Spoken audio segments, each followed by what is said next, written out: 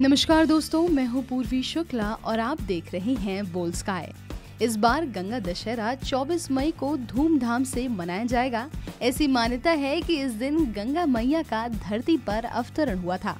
इस कारण बड़ी संख्या में लोग गंगा में स्नान करके शाम को गंगा आरती करते हैं। इस दिन घाट पर भक्त आस्था की डुबकी लगाएँगे। धार्मिक संस्थाओं की ओर से ये कार्यक्रम आयोजित कर गंगा दशहरा मनाया जाएगा। साथ ही पूरे दिन दान पुण्य व भंडारा आयोजित होगा।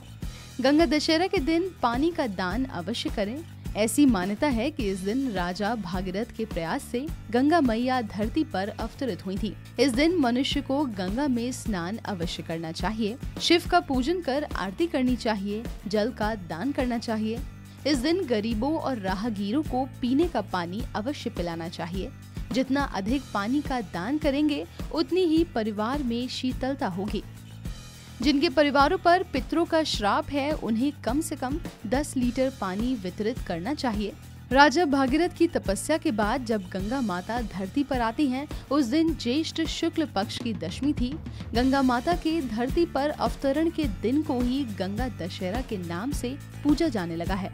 इस दिन गंगा नदी में खड़े होकर जो गंगा स्रोत पड़ता है वो अपने सभी पापों से मुक्ति पाता है।